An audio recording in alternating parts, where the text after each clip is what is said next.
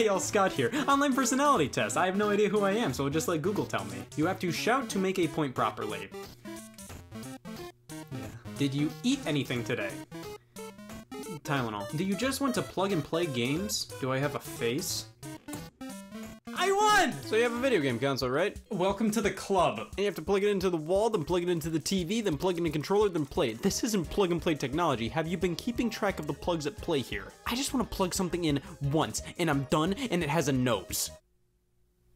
I wasn't expecting an answer this soon. Plug and play games were the sole reason some bin in my living room's corner had purpose. If you didn't own at least one of these from 02 to 09, did you even exist? These things were the thing back in the 2000s. They came in these big fat boxes and proudly proclaimed, plug it in and play. See, no power adapter or extra controllers were necessary. All you had to do was pop in a couple of batteries and plug this directly into your TV with the yellow and white cables. Or I don't know, they could be forks, I'm colorblind. These things could be anything. Composite cables, one for video and one for sound. And if you're good enough, another one for sound. Once you were done with the setup, you'd flick the switch on the controller and boom. Look at this, no power adapter necessary. It plugs directly into the TV. This is magical. Plug and plays were always charming little distractions, and they were easy gift ideas for kids. They were only like 20 bucks a pop, and you didn't have to think about what game console your kid had. All you had to know was, oh, my son likes circles, this'll do. But many times these plug and play games felt like an excuse to sell subpar games inside of a colorful container.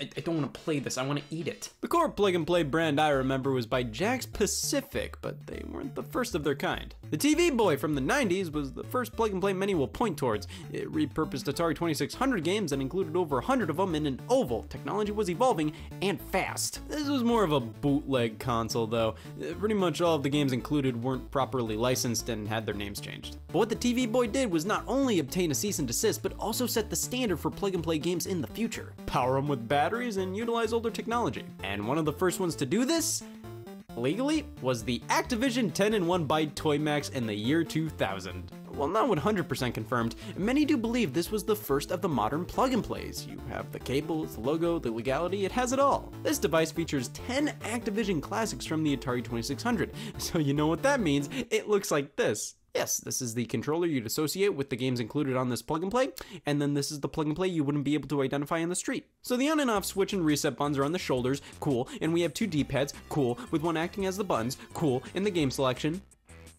Cool, this one isn't too great. The design's not ideal, and surprisingly, the games aren't much better. But you gotta give this plug and play credit where credit's due. It started a revolution. Jakks Pacific started up their line of plug and play consoles shortly afterwards and truly popularized this kind of stuff, and soon everybody was making them. These were the ones I owned back in the day. See, I may have had a GameCube and Game Boy Advance, but that didn't mean I wasn't interested in playing worse games. The Atari plug and play is modeled directly after the original Atari 2600 joystick, and quite well at that. Everything feels exactly how it should here, and that means it doesn't feel great. But they did a fantastic job recreating the experience of the Atari 2600, and it was my first and best experience with the console's catalog. Technically speaking, these are recreations of the games, not 100% the same as the original 2600 versions, though they were made to be as close as possible. I played a lot of Breakout and Pong and Centipede and tried to understand the context of Yars' Revenge as a kid. These games, while nothing crazy, were fun enough to warrant untangling this thing from time to time. This device may have been one of the first stepping stones to me liking games nobody gives a shit about anymore. Of course, I brought up previously how it was strange I had so many of these things when I had perfectly working game consoles at hand, but the Atari Plug and Play offered something those consoles didn't the unique controller. You could have just bought an Atari compilation on the Xbox, but are you really playing Atari with this thing? So that's one thing the plug and plays had over traditional game systems. The controllers could be whatever they felt like. Oh, we'll get to this one. The Pac-Man plug and play by Jakks Pacific. Everybody had this one. Me, Scott, everybody. Five Namco classics at play here. Pac-Man, Galaxian, Rally X, Dig Dug, and Bosconian. Back in the day, I called this list Pac-Man, Galaxian, Rally X, Dig Dug, and what? This is an alright collection. These games aren't one-to-one -one with their arcade originals, but they're better than playing the old NES versions, and also better than a bunch of the compilation discs on consoles, because here, we have a joystick. Of course, using this now doesn't feel as good as I remember. It feels a little clunky, the stick doesn't feel substantial enough, unit isn't big enough to really fully use the stick like I would on a real arcade machine, but it was a decent joystick at the time, and all these games are factually more fun with a joystick. Of course, they followed this up with a Ms. Pac-Man plug and play featuring different and better games. Ms. Pac-Man, Galaga, Xevious, Mappy, and Pole Position. I got so much mileage out of both of these plug and plays, and this was where my love for the Namco arcade games began. What's interesting about the Ms. Pac-Man unit is Pole Position is controlled by twisting the head of the joystick. I didn't know that as a kid, and when I tried playing the game, the car would never move. Now, how did I never know that, considering there are multiple signs showing that this is how you control pole position? Oh, hey, it's my friend. I don't know how I didn't realize I had to twist the joystick in pole position. I was just a kid. Leave me alone. I hate my parents. These two were my most played plug and plays, but of course, it's impossible to ignore for much longer. My fourth plug and play was the Etch a Sketch plug and play. It never worked. It came with a cartridge. Why? Like the cart came in the box with the plug and play, and was the only cart released for the plug and play. So why make a cartridge slot on the plug and play if there's only one cartridge for it, and you could just build the elements of the cartridge on the inside of the plug and play? What the f? Etch a sketch? I don't have this one anymore, so I'll throw the concept of it to the side and make way for my true final plug and play I owned as a kid corroded batteries. Wish I would have known about that before making that pact. The SpongeBob SquarePants plug and play. It, of course, isn't a collection of old games, but it kind of is. It features five games made specifically for this unit, and each of them is incredibly similar to another retro classic. I wouldn't consider these to be full-on rip-offs, rather friendly plagiarism. This game's similar to Breakout, this one's Life Force, this one's Missile Command, this one's Zelda, and this one's Donkey Kong. But strangely, these are all pretty fun time wasters. The controls feel really solid, and I honestly think Bubble Pop in this game is better than Breakout on the Atari Plug and Play. And the stick itself is great. I mean, come on, somebody thought of this. There's a fact for you. But while playing, the stick broke and doesn't register the direction of down. This broke right before playing the Donkey Kong ripoff. It's all the way down there. I can't access it anymore, and all I can possibly do with this plug and play now is play Bubble Pop. I'm okay with this. So these were the main ones I owned.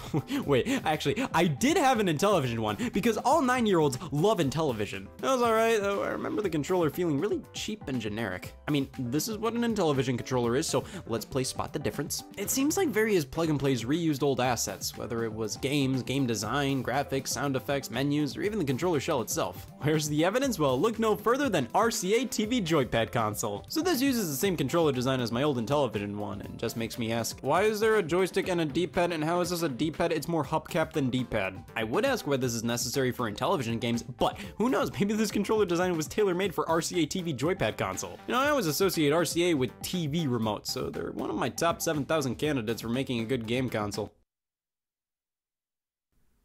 Top 8,000. So I think we covered pretty much the three types of plug and plays. The official old school throwbacks, the licensed kids games that usually ripped off other games gracefully, and then RCA TV Joypad console. This is a collection of cheap, low quality games that have been spread around to various other generic consoles like this. But hey, I mean, if you want to play Roadstar,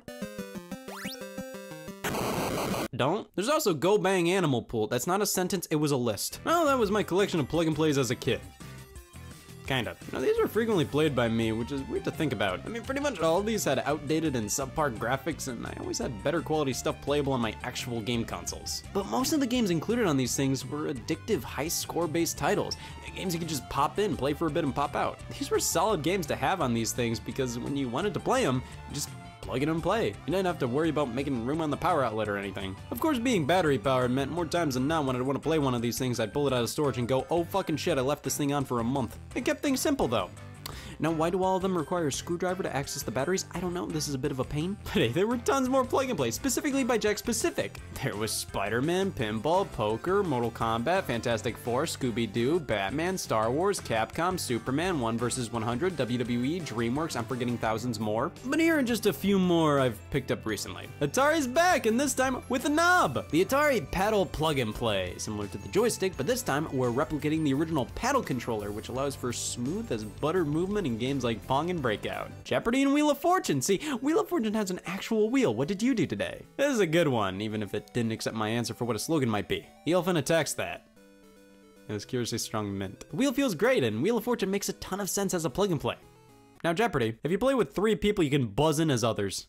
It's great. The Disney Plug and Play features a couple of games based on various Disney characters. Uh, this is most similar to the SpongeBob one, each game is of a different style. The first one you have to change the direction of the bridges to make a clear-cut path, so I constantly failed at the first level, but afterwards I swept the floor with Timon to the rescue. We have a Lilo and Stitch platformer, Duck Golf. No. No, no, no, no, no, no, no, no, that can't work. Aladdin's another platformer that feels a bit similar to Aladdin on the Super Nintendo.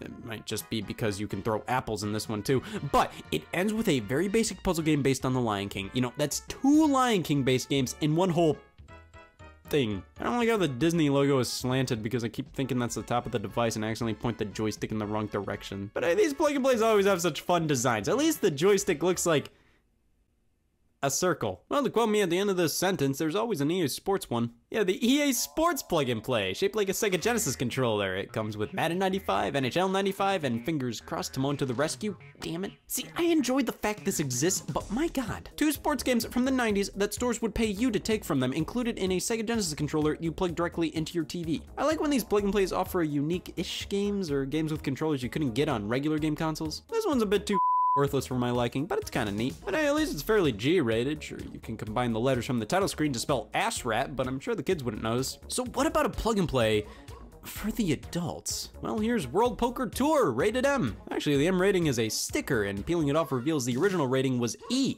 Well, it's a good thing they reconsidered. Can you imagine kids playing this? I can't, I don't want to imagine the world burning the down. There's an LCD screen on this unit, and it comes with a bonus DVD. Well, don't mind if I do. The game itself, oh man, it, it reminds me of something. I can't remember. Poker. Poker! The final Jakks Pacific plug and play I have is a Nicktoons one, focused on various Nickelodeon cartoons. It just came in the mail, so let's cut it open and take a Alright, they can't all be winners. For some reason, Jakks shipped this unit with the wires pre-cut. That's unfortunate. This is lame because I actually had an accessory for this specific unit too. A game key. That should show you how popular these devices were. They actually got accessories like this released for them. Game keys were made for specific plug and plays that had cartridge slots. You could buy these and expand the game selection on these things. It's really weird because I thought the entire point of these things was that they were way simpler than game consoles. You didn't have to worry about what game system your kid had. You could just buy them a plug and play and know for a fact they will be able to play it. But then you start releasing game cartridges that work with specific plug and plays, and all this one says is that it works with Nickelodeon controllers. I wouldn't be surprised if some moms bought their kids a game key because they had a Nickelodeon plug and play that didn't have a game key slot. Here's a power adapter for Jakks Pacific plug and plays. My god, with the game key and this, this is starting to become a lot more than just plug and play. Jakks Pacific really rolled with the plug and play success for a while, which meant they made some really dumb stuff, but they weren't the only company to not give a shit. Various others made their own plug and plays. For example, Toymax. They were bought by Jakks Pacific. RCA. They stunk. But here we have a Tetris plug and play by Radica. It's your basic Tetris. You have a few different modes, the traditional Tetris theme, solid visuals, two players right out of the box. You can just attach the second controller included. This is hell. This controller is abysmal. All they had to do was put a D-pad and a button, but no, they had to make it unique. So you move this block as a joystick to move your piece and twist it to rotate. Not only is this control scheme really lousy for Tetris, the control stick itself is wildly stiff. I don't know why they felt the need to make it like this when they could have easily saved money by using a traditional controller. Hell, even the RCA controller would have been better. How about Crayola Electronic Coloring Book?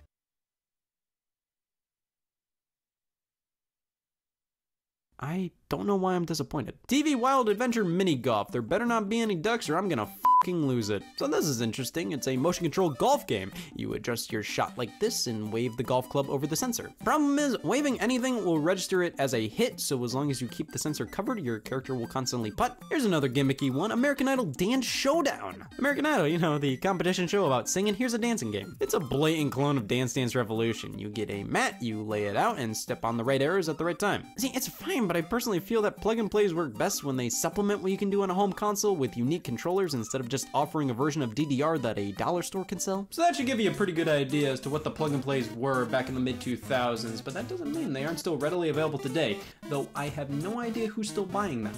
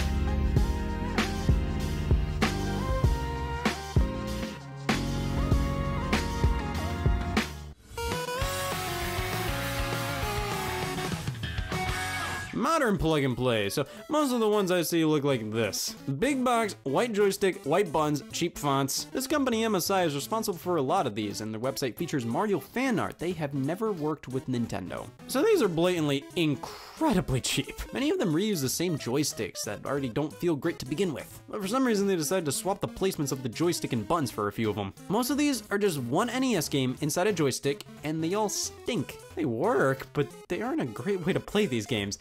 So much about this doesn't make any sense. So you wanted to make a plug and play for people who were nostalgic over Mega Man 2 on the NES? So you put it in a controller absolutely nobody played this game with? Like seriously, why a joystick? Why not something that at least resembles an NES controller? Plus, like I said, a lot of these only contain one game. This Space Invaders one, like seriously, is just Space Invaders. There have been so many other Space Invaders plug and plays before this with multiple games. This one, just Space Invaders. And it's not even that accurate to the arcade version. It's the Famicom version. Who played the Famicom version? Double Dragon. I mean, I will give this the benefit of the doubt. The batteries might be in here a bit wobbly. See, that's a problem with a lot of these units. Graphical problems if the batteries aren't fully in or are starting to go. But God, this looks bad. And it's just Double Dragon 1 on the NES. If you have the joystick, why not have the arcade version instead or include it alongside this? WrestleMania, yeah, just the NES game in the same joystick. Why don't I hear anybody talk about how garbage this company is? But I have found this Pac-Man one at Walmart recently. It's actually pretty good. The design may not be the most comfortable, and sure, having the wires contained at the bottom with a lid may sound like a good idea, but just ends up making it more complicated to put away because now I have to cram all the wires back in and not lose the lid. But the stick and buttons feel pretty alright, and the game selection is pretty solid. It even includes the final level of Pac-Man where it's a full-on unbeatable glitch.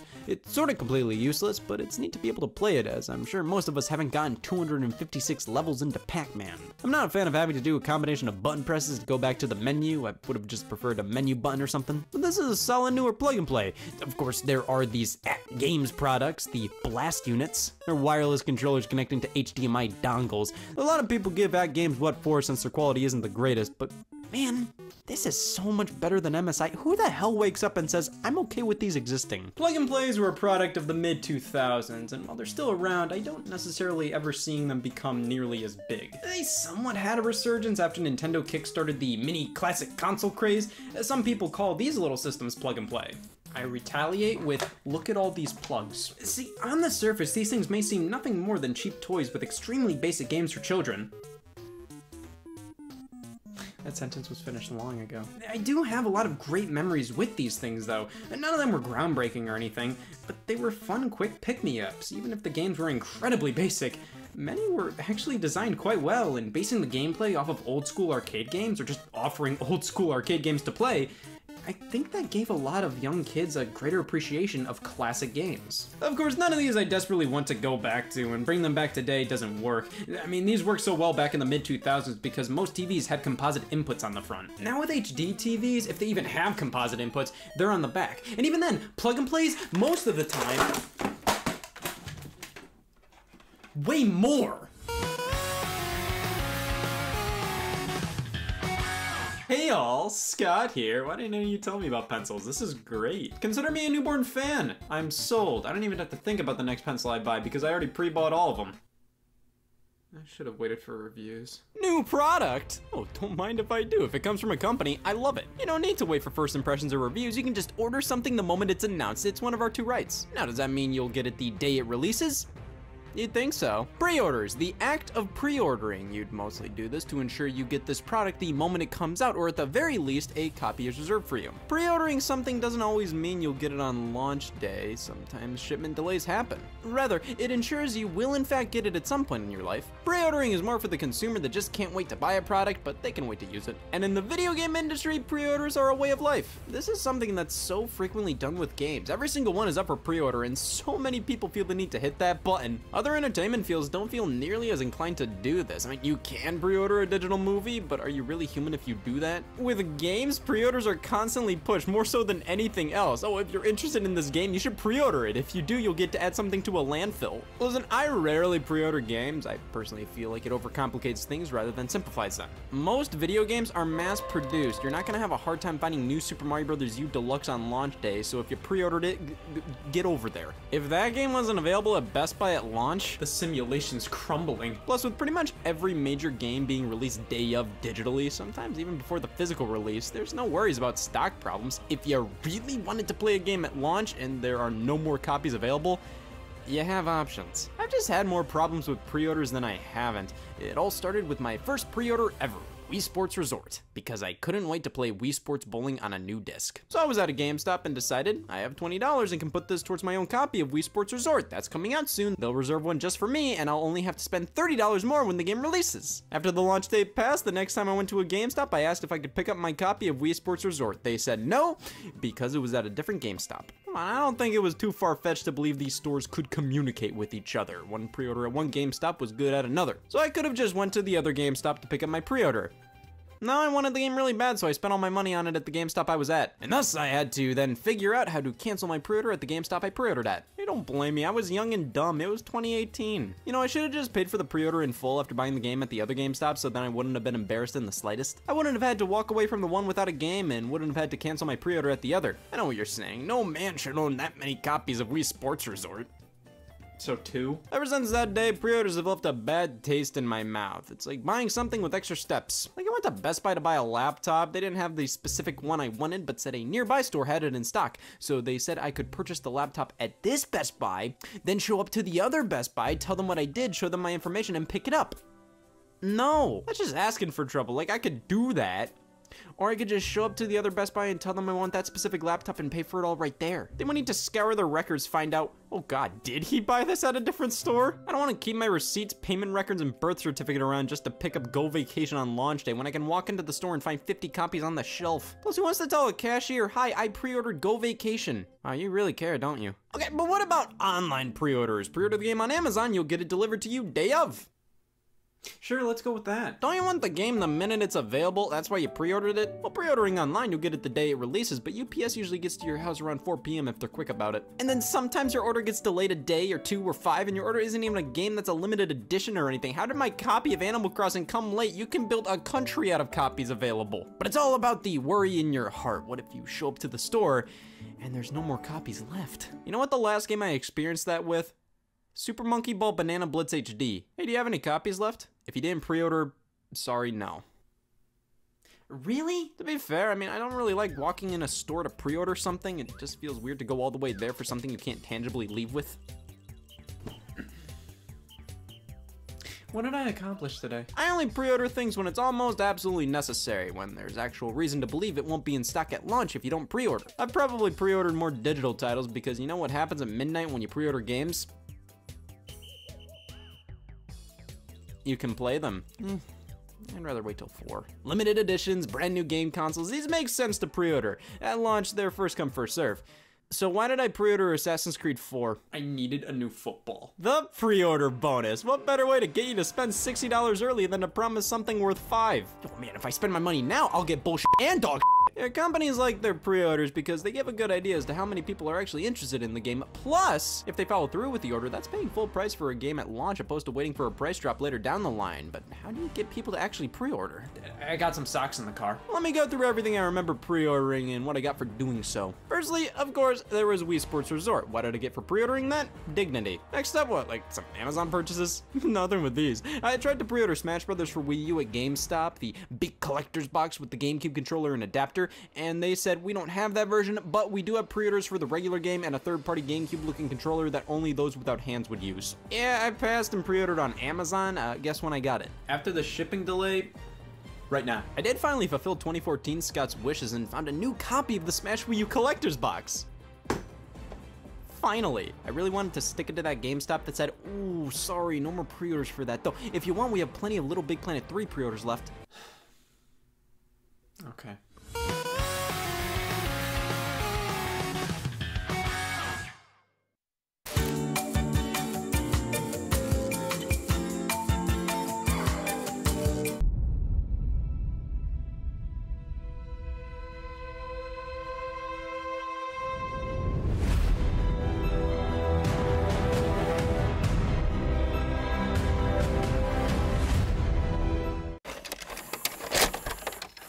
I'm the Black Hokage. You could game with any network that never stopped gaming, or just G4. Before I moved to LA, I considered calling myself the Florida Hokage, but I don't get day drunk enough. Hi, I'm Kassem G. You could game with any network that never stopped gaming, or just G4. People say I'm the most handsome G4 host, and I've asked both my parents. Hi, my name is Kevin Pereira. You could game with any network that never stopped gaming, or just G4. Sometimes, I wonder if my entire life is in a snow globe inside a YouTube Let's Play.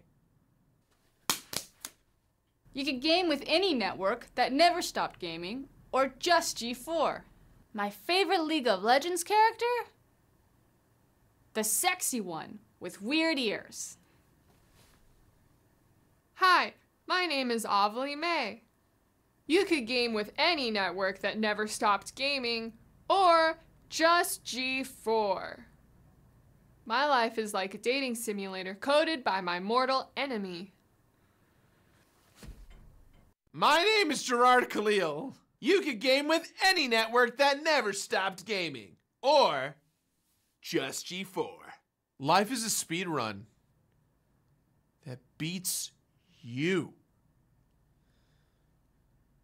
You could game with any network that never stopped gaming or just with G4. Can you guys add like the, the Disney? People tell me I look like a young Kurt Cobain, played by an average looking sketch comedian.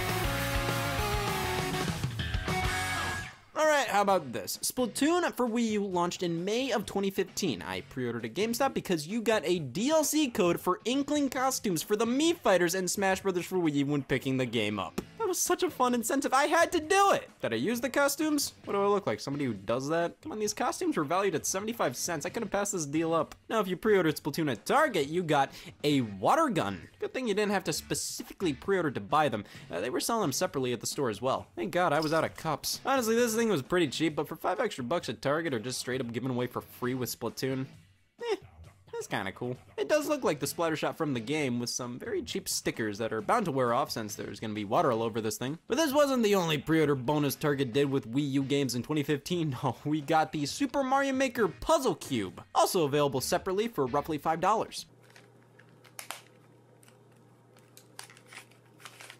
Jesus, how, how did they up a Rubik's Cube? This is using like the cheapest plastic imaginable. Each turn feels like I'm grinding against the rest of the plastic. I can't commend them for doing something cute like this, but I'm sure the people in charge said, we have just enough funds to kinda do a Rubik's Cube. If you can only kinda do a Rubik's Cube, you probably just shouldn't do a Rubik's Cube. Now, I personally pre-ordered my copy of Mario Maker over at GameStop because they were giving out this poster celebrating the 30th anniversary of Super Mario Brothers. I don't know, I don't really put up posters outside of a few key examples, but this one just looked neat, so I thought, eh, I'll pre-order to get that. How about with Twilight Princess HD? At GameStop, I got the soundtrack on CD or some of it, sound selection, so not everything. It's also in this dinky ass cardboard case, so not the full soundtrack, and the case isn't anything to write home about. But to be fair, this is the best pre order bonus I've gotten so far, and in terms of excitement, I'm brimming. Of course, I pre ordered the Nintendo Switch when that launched, but I had to wait about a month and a half later to get some plastic bullshit with a pre order because at Target they did the damn Rubik's Cube again. Mario Kart 8 Deluxe Rubik's Cube. They also did some air fresheners. To be honest, I don't think these Target trinkets count as pre order bonuses, more like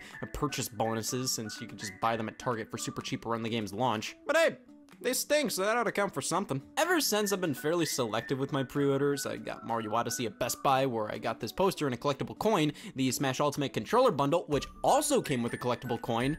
Man, I mean, these are quality little trinkets, but at least with the Rubik's Cubes, I got a good few years out of looking at those complaining. These, there's just not much to them. They're nice little coins, so cool, but like, I don't even know what I'm supposed to do with these. I haven't personally truly experienced a crazy good pre-order bonus. I think the one everybody points to that was undoubtedly the best of all time was the Legend of Zelda The Wind Waker's pre-order bonus. You got Ocarina of Time plus the all-new Master Quest version of the game as a GameCube disc. So you pretty much got an extra game for free by pre-ordering this game. Pretty sweet deal. Pre-order copies of Mario Kart Double Dash contain the fabled bonus disc featuring game demos. Uh, they were seriously putting work into their pre-order bonuses back then. So, how did pre-order bonuses look a decade later? A free football for pre-ordering Assassin's Creed 4 at Best Buy. Oh, I was gonna buy a football at Best Buy anyways. I needed a new Assassin's Creed 4. This is perfect timing. A flashlight for pre-ordering Shadow of the Tomb Raider at GameStop. Yes, the inside of the game case is so dark I can't find the game without it. A banana-shaped Wii Remote holder for pre-ordering Donkey Kong Country Returns at GameStop. This Wii Remote is really pissing me off. It's not in something else. Good thing I pre-ordered. 25 extra lives for pre-ordering Sonic Lost World from Amazon. Yeah, that's what got me to pre-order. More lives. Free condoms with infamous Second Sonic GameStop Italy. They'll work or your money back. You got exclusive special moves to perform in Remember Me based on Street Fighter by pre-ordering from Amazon, Best Buy, or Steam. Why lock stuff like that behind pre-orders? Why lock cool gameplay incentives? Well, it's easier than supplying quality merchandise. Gears of War 2's pre-order bonus was an RC car tank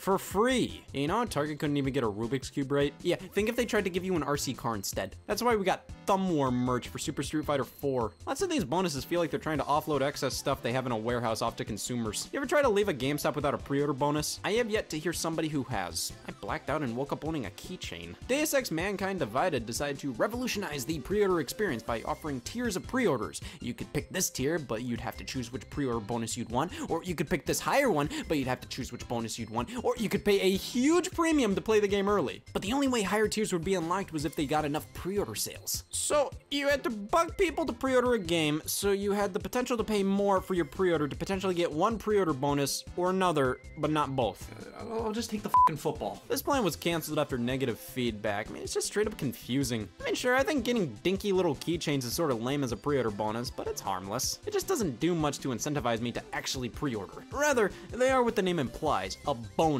not really an incentive. And hey, sometimes these bonuses can be legitimately cool. Art pieces, CDs, posters, of course, they rarely can get amazing like with the Master Quest, but I doubt we'll ever see a pre-order bonus that great ever again. But if anything, some of these modern pre-order bonuses really hit home what I was trying to convey a bit ago.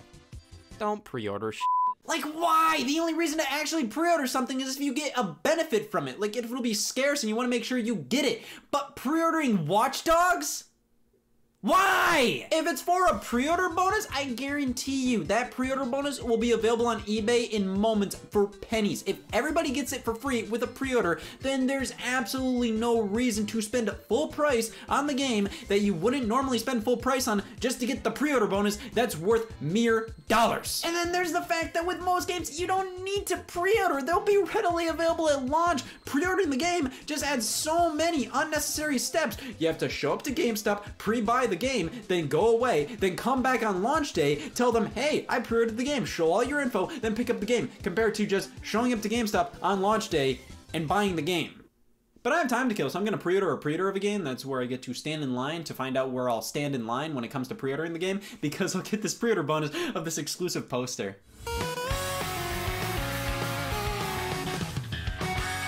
Hey all, Scott here. I'm on life support now. No reason, just felt like it. I've been told the machine I'm hooked up to is doing some pretty great stuff. It's efficient, it's useful, it's made by Mad Catz.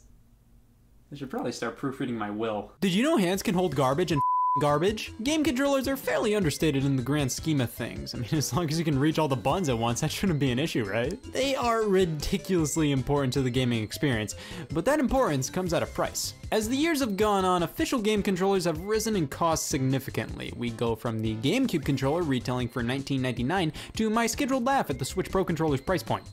the prices of game controllers can be absolutely ridiculous, sometimes costing nearly as much as a new game, sometimes costing as much as a new game, more than a new game. $70, man, I found a mattress for that much. I will admit, stuff like the Nintendo Switch Pro controller and DualShock 4 have a lot of random junk thrown into them, and at least kind of explains why the prices are so much higher than controllers in in the past. But then the Xbox One controller is pretty much identical to the Xbox 360 controller in terms of features, and it's $65. Did all the money go into giving the thumbsticks tire tracks? Controllers can be expensive. Sure, you can probably make it by with just the one that came bundled with your console, but what if you want to play a local multiplayer game, or what if your controller breaks for some reason? You're gonna need an extra controller, and the official ones, those can be pricey. But you always have other options.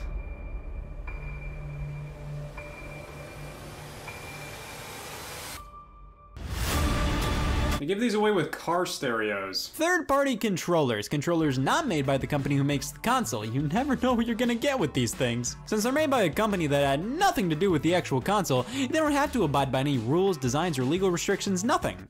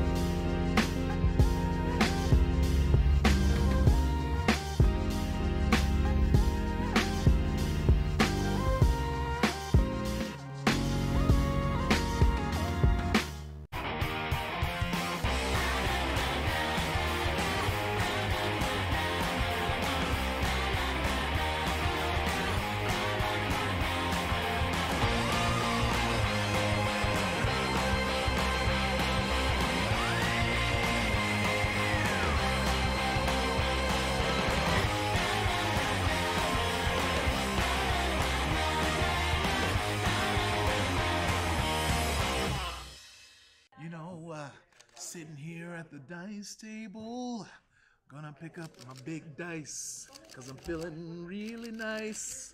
And we're singing D20. Uh. That's a one. Is it really?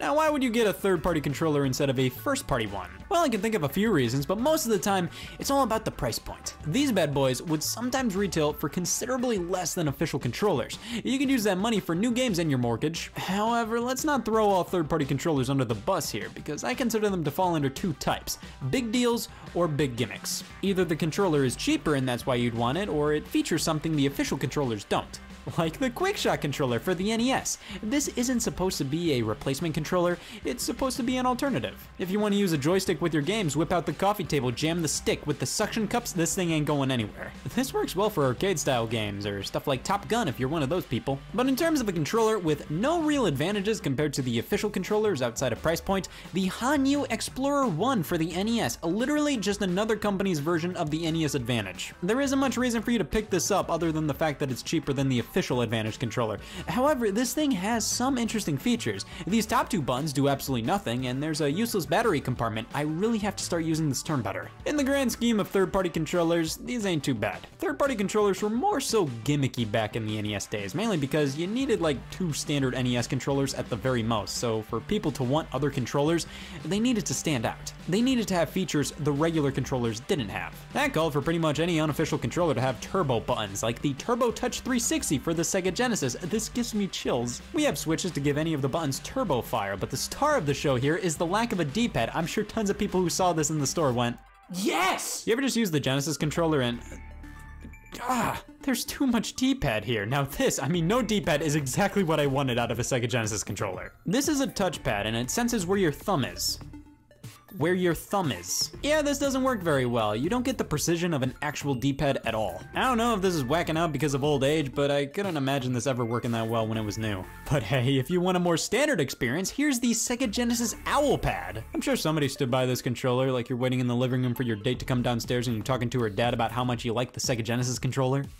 We're an Alpad family. The back is a soap dish. Now, if you're looking to buy retro gaming garb these days, you're likely to come across these off-brand controllers. They look pretty similar to the originals, but with a few things altered so Nintendo doesn't have a fucking aneurysm. If there's just a blank space where the Nintendo logo should be, run. These things prey on people looking to buy old systems who need an extra controller. They're usually for sale at retro game shops and look almost identical to the original controllers, but are almost always inferior in every way. Like, come on, $15? That's around the same price for an official N64 controller, but people keep buying these because they look so similar and they're brand new. At least back in the day, third-party companies respected the consumer. To differentiate themselves from the first-party companies, they made sure to add their own stupid twist to their product. Introducing the Boomerang 64. The analog stick fell off of mine and all that's left is a stick, so I had to improvise. Now this isn't nearly as bad as it may seem. It is a chunk fest in my hands, but it gives you an N64 controller with a slightly more conventional layout. It has built-in rumble if you slide some AAAs in, and there are two whole Z buttons for maximum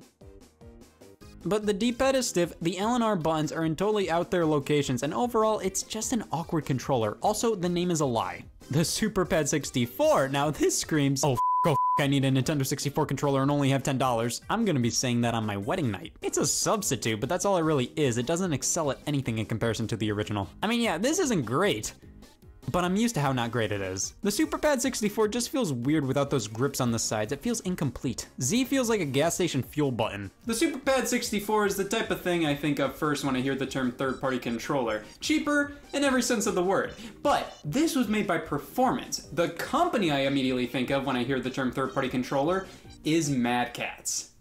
If you walk into a building constructed by Mad Catz, get the out of there. Get all the kids out of the room. Three, two, one. Jesus Christ, censor that. The only Mad Catz product I own legitimately without thinking twice about it being made by Mad Catz was my GameCube memory card, and I'm still happy to have it on me. Look at all these memories, an entire page of Nickelodeon game save files. I love gaming. But look at this, 16X, whatever the hell that means, keep it coming. I had so much storage space on this card. Mad Catz was never the worst supplier of controllers, but they were definitely known for their mediocrity. But I mean, come on, has a company who made a Dallas Cowboys PS2 controller ever steer you wrong? A lot of their controllers aren't terrible, but they're on their way up there. The Mad Catz GameCube controller, talk about undercompensation. You take a regular GameCube controller and then just warp every element of the controller until it's a shrunken, grotesque GameCube pad. Oh, and bold up the fonts on the buttons. Just by looking at this thing, there is something undeniably cheap about it. Like many of these controllers, it works, but so does filing for bankruptcy, so whatever, different people like different things. Well, what about the Mad Catz arcade stick for the Xbox 360? With all the arcade titles available on the 360, you needed a good arcade stick to play them with.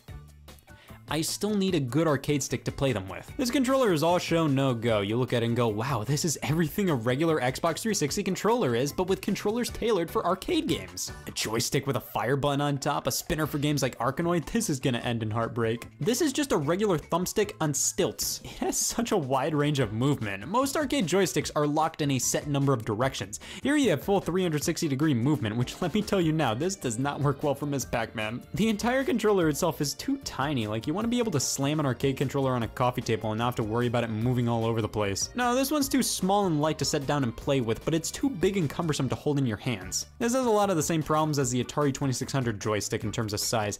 I can't say Mad Catz didn't try with this controller, but they didn't. But wanna know who did try with their controller? Nickelodeon. Put SpongeBob in your hands.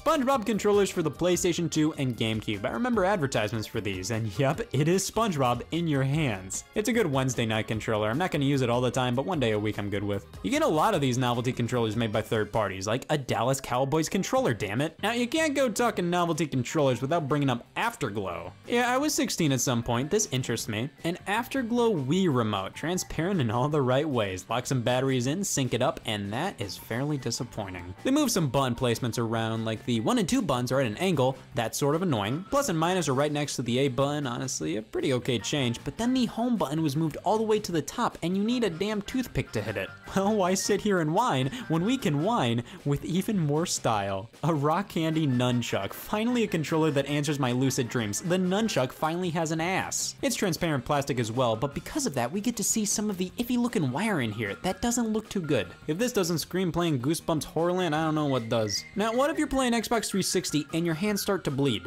Well, damn, you don't want to stop playing to dry the blood off, so introducing Air Flo, the controller with a fan. You hit this button and the fan turns on. Well, that checks out. This is a very standard wired Xbox 360 controller, but with LEDs and a fan with two different speeds. Honestly, it's good at what it does. If you're really hankering for a controller with a fan, you can do a whole lot worse than Air Flo. Speaking of good third-party controllers, the Logitech wireless PS2 controller. Oh my god, this thing is really comfortable. Dare I say, more comfortable and sturdier than the official controller. The traditional PlayStation 1, 2, and 3 controllers just aren't really my thing, but this pokes it up a bit and just melts in my hands. Also, I like the blue underneath the analog sticks, those are fun. Here we have a few controllers for the Nintendo Switch. First up is the 8BitDo SN30 Pro. I've always heard a lot about 8BitDo, do, damn, whatever. They specialize in retro-esque Bluetooth controllers, this one obviously taking heavy inspiration from the SNES. And yeah, it's pretty good at what it sets out to do. I don't see this as a full-on Switch Pro controller replacement, but as a supplemental controller for 2D platformers or retro stuff, then oh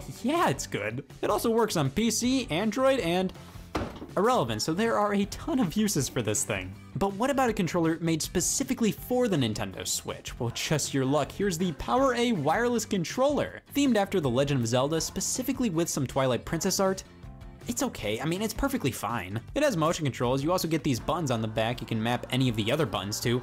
However, you don't get HD Rumble or NFC here. For that, you need to chalk up an extra 20 bucks for the official Pro Controller. That's not worth it. The extra money may not be worth what the Pro Controller adds in terms of features, but I will say the extra 20 bucks is worth the more premium feeling of the Pro Controller. This is perfectly fine. It does the job, but at 50 bucks for a third-party controller, I'd just spring for a Pro Controller at that point. Here I have a bunch of PS3 controllers. Alright, first up, this is the GameStop branded one. That feels alright, let me test out the trigger.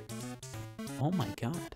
The Tier 1 wired PS3 controller, pretty much just like an Xbox One controller. The X got rubbed off here, that means somebody must have used this thing. Rock Candy strikes again, this time with this tiny PS3 controller. This feels like something I get out of a capsule machine. Let me rewind a bit to the PS2, the TTX Tech wireless controller. I see they had to make sure the button symbols were different enough to avoid copyright problems with Sony. What are you talking about? That's not a PlayStation X, that's a Norse symbol. It's feeling like one of those Beboncool kind of days, you know? Here's the Beboncool for the Nintendo Switch.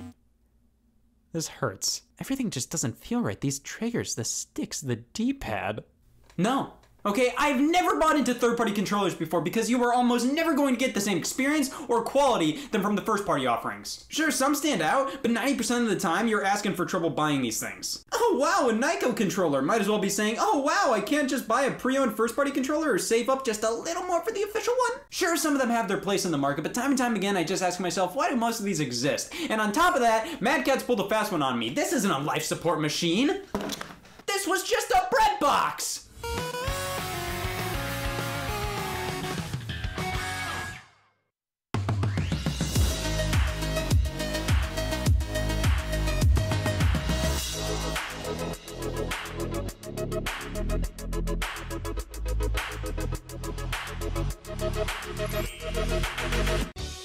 Five breadsticks for my triple treat. Three layers deep. Ten Cinnabon mini rolls to eat.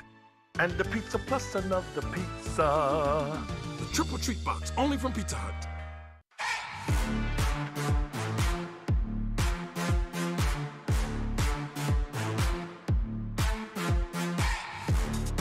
At SteelSeries, we make the headsets, mice, and keyboards that the world's best gamers win the most with. And we've been doing it since way back.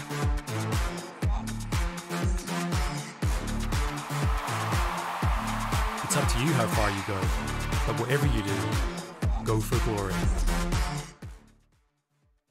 What's the recipe for surprising the kids, treating yourself, and ditching dish duty? You're looking at it. Order your Pizza Hut faves like original pan, original stuffed crust, and more at pizzahut.com.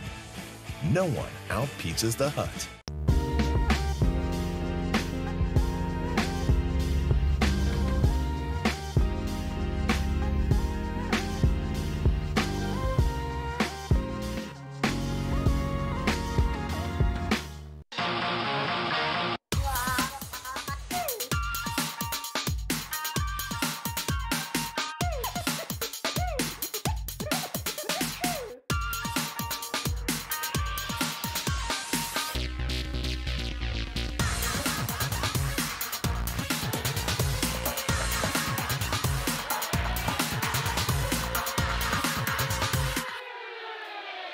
you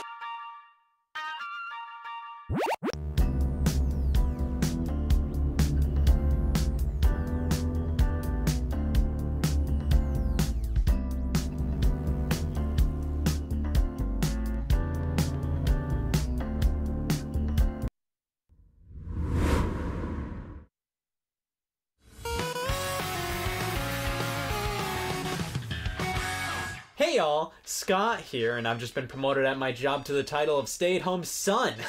Suffice to say, I've had a lot of extra time on my hands, and I've been discovering the legends of lost video games. Someone please hire me. Games are a medium in which preservation can be tricky, thus, some games can't be played in their original state. These are games that have basically been lost, not games that were cancelled, but games that existed and were playable, but are inaccessible nowadays. These are the games that time forgot. NBA Elite 11, a crowning achievement in the cancelled but not cancelled industry. EA initially developed Elite 11 as a reboot of the NBA Live series. After a lame demo was put out for the game showcasing various problems and glitches, EA realized the product just wasn't up to snuff and thus cancelled the release of the game. Or did they? Copies of the game were shipped to retailers, but EA requested them to be sent back. Most obliged, but some copies were sold to consumers. Due to never officially releasing, but technically officially releasing, NBA Elite 11 is incredibly hard to play. If you want to grab the game, well, the demo that initially released was completely ripped from online stores, making this one of the hardest EA Sports games to experience. Thank God you made the cut. Hey, remember Download Play on the Nintendo DS? It was a way for you to temporarily download content from another DS without an internet connection, mainly for things like playing a multiplayer game without your own copy of the game. It's pretty slick. But you could also get exclusive demos by using Download Play in specific areas, like retail stores. However, we have an exclusive game that was only available via DS Download Play. Visiting the Poke Park, a Pokemon theme park in Japan, you can download an exclusive DS game to your system, Poke Park Tsuri Taikai DS. It's a Pokemon fishing game, that's it. The way DS Download Play works is that after your system is shut down or after 12 hours, the game is inaccessible, and the fact that this game was only available in a theme park that's totally dead now, Pokemon's triumphant leap into the fishing genre just refuses to be played nowadays. Here's a plethora of games that were delivered via online services in the early 90s back when the internet was delivered via railroads or whatever. Yes, various game systems in this era kinda sorta supported online, but in different ways compared to how online support is handled nowadays. The Satellaview and Sega Channel were online services for the Super Famicom and Sega Genesis respectively. The Satellaview was more of a satellite broadcast modem offering games to be played at specific times, almost like the games were a radio broadcast you had to tune into. In fact, the way the games were delivered was basically like a radio broadcast. The games offered on the service varied from add-ons to remakes to remixes of previous games to just full-on new games. But this method of games delivery came with a caveat. Most, if not all of these games would not officially be re-released in any physical way, and thus fans had to step up to ensure these games could be played for generations to come by backing up the files online. The only way to get these games legitimately nowadays is to grab a Satellaview with the cartridge and memory pack, hopefully with previously broadcasted game data on it. A good majority of the Satellaview broadcasted games can be played now via emulators, and unofficial reproduction cartridges exist of various games, but many are not in their original state. For example, an expansion to The Legend of Zelda A Link to the Past was released entitled Ancient Stone Tablets and featured a narrator speaking to the player alongside orchestrated music being streamed. While Ancient Stone Tablets can be played on an emulator nowadays, it's never been officially re-released by Nintendo and the narrator and orchestrated music is completely lost. Another one is Kirby's Toy Box, a collection of games broadcasted via this service. They were minigames, basically an expansion of Kirby Superstar. Most of the minigames have been found, backed up, and can be played online right now, except for one. The game entitled Ball Rally is still lost and can't be played unless you just so happen to have a Satellaview with the game on it, which is something that has yet to surface. Just a few years ago, a good chunk of the Kirby's Toy Box games that were believed to be lost did end up surfacing, so don't completely count this one out just yet. But get ready for the most heart-wrenching lost game broadcast of them all. Garfield Caught in the Act Lost Levels. The Sega Channel for Sega Genesis was kind of Sega's version of the Satellaview, and similar to it, Sega offered some exclusive games on the service like Mega Man The Wily Wars and Alien Soldier. Garfield Caught in the Act was offered to play, but also saw release as a physical cartridge. However, a handful of levels didn't make the cut in the final release and were finished for the Sega Channel version of the game. Many have nicknamed this as Garfield the Lost Levels, as they are completely lost. However, these levels are available on the Game Gear and PC versions of the game. It's not confirmed, but it's safe to assume that while these versions may be similar, they probably aren't one-to-one the same level designs as the levels on the Sega Channel version, which are gone and will most likely never resurface. No. The dependency many games have on online stores scares the piss out of me. So many games are digital only and can be taken off of the stores at any moment, making it almost impossible to play them. A good amount of the time, these games are taken off for licensing reasons. Scott Pilgrim vs. the World the game is a huge one that was taken off Xbox Live Arcade and the PlayStation Network. Being a retro style beat 'em up based on the movie based on the graphic novels, this one has gained quite a following, so it's sad to see you can't play it anymore if you want to. Turtles in Time Reshelled was a reimagining of the arcade and SNES classic Teenage Mutant Ninja Turtles 4 Turtles in Time, and yikes, I don't think a ton of people dug this one, so who cares that it's gone?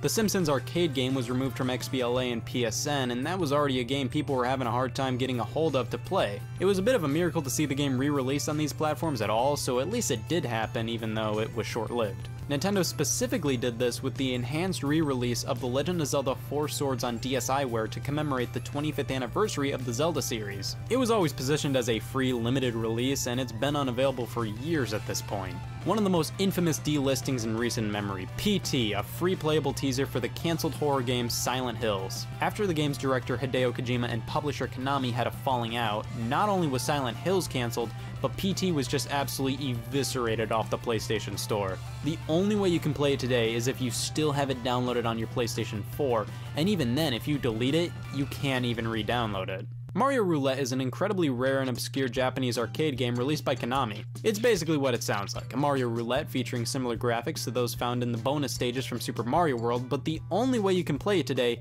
is if you find one. And spoilers, Jesus Christ, that's never going to happen. This is such an obscure rare release that not only is it nearly impossible to find, but even more difficult to back up online because, you know, it's never happened. The online multiplayer component of many games have been shut down. Looking at the games using the Nintendo Wi-Fi connection on the Wii and DS, multiplayer's donezo on a lot of those titles, but massive multiplayer online games are completely toast. When those things are shut down, it's completely game over. Many games are kept alive via fan servers, but more times than not, MMOs that die, die forever. It isn't always apparent just how fragile media can be. The Film Foundation estimated that over 90% of films before 1929 have been lost forever, which is way past unfortunate. That's history right there that never got justifiably preserved. Of course, with film, books, music, and the sort, these forms of media can be displayed and preserved in a multitude of ways now. Video games are a different story. Games are dependent on the hardware in which they were designed for. Movies, music, and books don't have that problem. They're all generally in formats that can be displayed on any computer, or any DVD or CD, or just pieces of paper.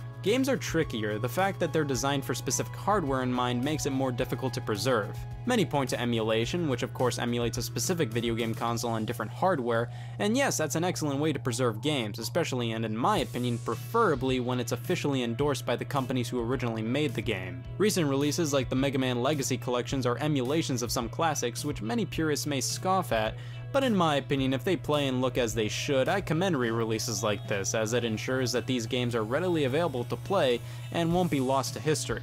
But of course, not everything can be preserved and we just have to live with that. I would love to get my hands on a lot of these games someday, but I'm not giving my hopes up. Honestly, the fact that some of these games are lost to history makes them more interesting in some cases and potentially gives them more notoriety than if they were readily available. But it still would be nice to have hard copies of all these games. Of course, when talking about games that are lost and can't be played anymore, everybody has to mention Club Penguin, an online game where you just bro out with other people all displayed as penguins. You see, I never played Club Penguin, I was always more of a Nicktropolis guy, which suffered the same fate. Well, with these online chat room kids games gone forever, I guess I'm gonna have to relive what it's like to be a kid in one of these things by just going to a chat room and posing as a 12 year old. Gotta ask this person how old they are these days first off, and with the age old age question being thrown out there, I think I'm gonna leave it at young. 18? Get out of here. Think young, go younger. Don't worry, guys. We're in an online chat room. These people are wholesome with a capital H. Scratch that.